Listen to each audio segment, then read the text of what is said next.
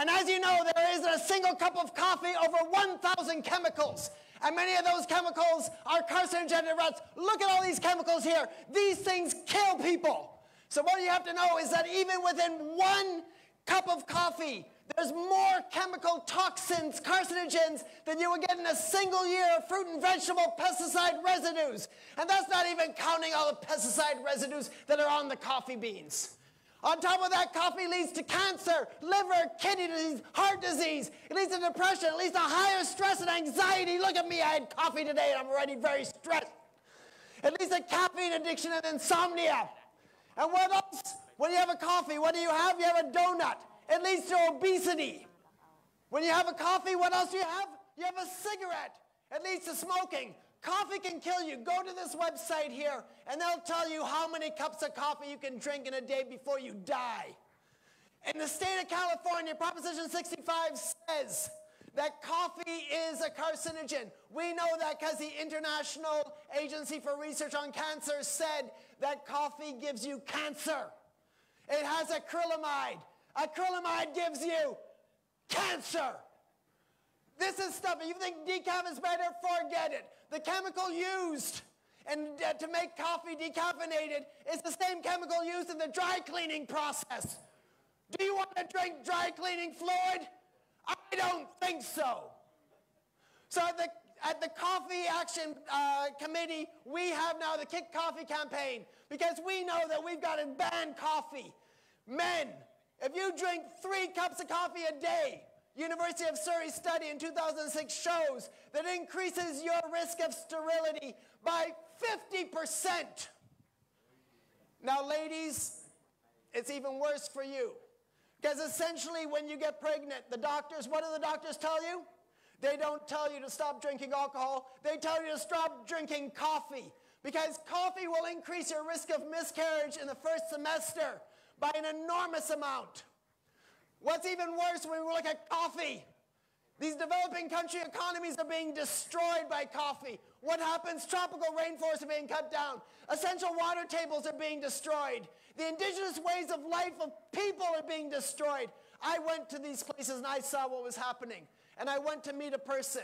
And he couldn't even shake my hand because his fingers were deformed. The time from a child, from the time he was a child, he was picking coffee beans.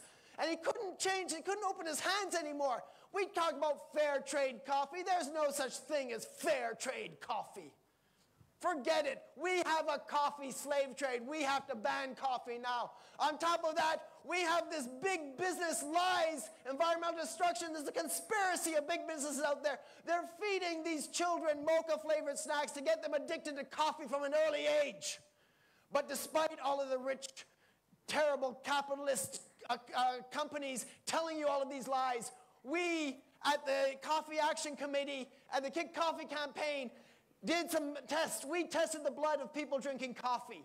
And we can tell you the scientific truth now. If you look here, we did blood tests and we found this level of chemicals in blood of coffee drinkers. These are not natural things in the blood. These are chemicals that are poisoning us. This is certified by a UK lab. I can tell you right now that these coffee toxins are our bodies. Look at these chemicals here. These chemicals are killing us. They're killing us. They're killing coffee. We got to do something to ban coffee now. If we don't ban coffee now, think of what's going to happen. Think of the children. Think of, think, think of what you can do just for the price of a cup of coffee a day. You can, can, if you just contribute a price of one cup of coffee a day to the Kick Coffee campaign, you could save the children. Thank you. Hi, Ling. Hi. How are you doing? Okay, I'm fine. Do you think anyone understood what I just said? I think so. Okay, perhaps you can help me now. We can just go through the rest of our presentation together and sort of tie in English โอ together. เคโชว์ขอขอเดินรอบๆห้องนะคะ เพื่อสร้างความคุ้นชินค่ะทำให้พี่ๆไม่ไม่ง่วงนอนกันละกัน so uh, is it time for coffee now Not yet. I think first we have to talk a little bit about what, what's happening. Um, what I did there was a typical NGO campaign. ค่ะ For นี่จะเป็น coffee ค่ะ NPO เอ่อ NGO campaign นั่นเองที่เกี่ยวกับกาแฟนะคะ เดี๋ยวเอ่ออาจารย์ซารุกจะมาเล่าให้ฟังค่ะ And as I'm losing my voice here, sorry. Uh, but the, the campaigns are meant to create fear fear of chemicals, fear of cancer. Cancer, of course, is our big fear today. Um, of risks to babies, small children.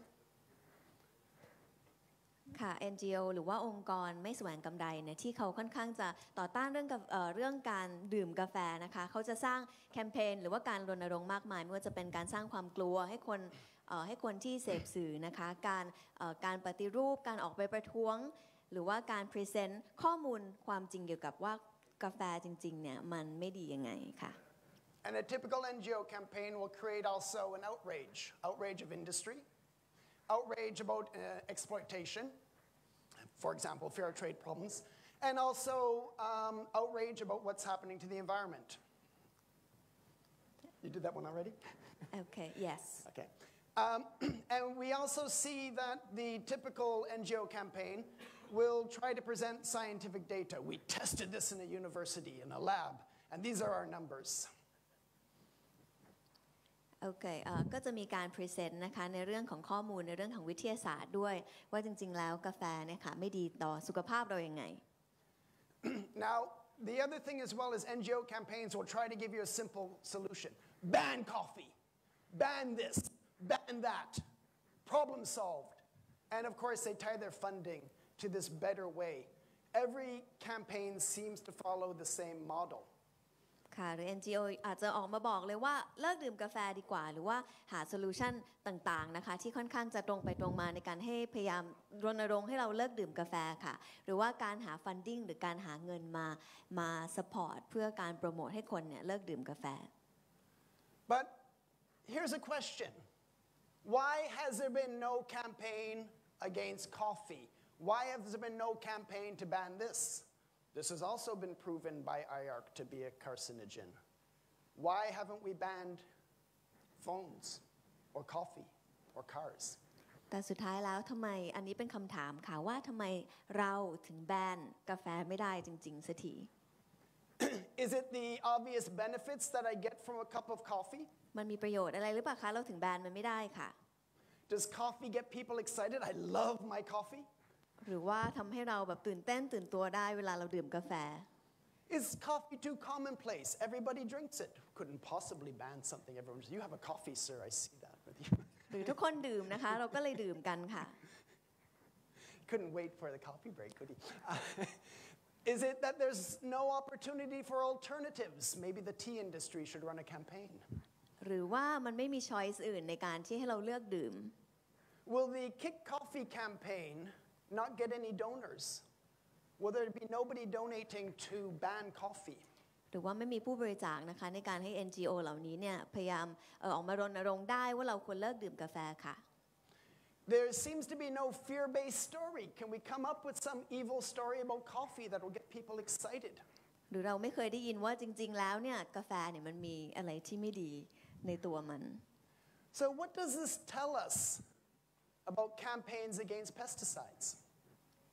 อ่าเรื่องนี้ก็คือสุดท้ายแล้วเนี่ยมันบอกอะไรกับเรานะคะ ในเรื่องว่าเราเนี่ยจะหลีกเลี่ยงการดื่มกาแฟได้ยังไง It comes down to one simple word trust.